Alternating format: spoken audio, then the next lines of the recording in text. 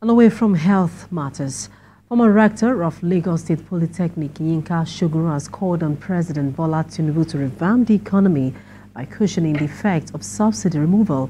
He made this call while answering questions from journalists during a press conference to mark the 10th anniversary of Yaba District.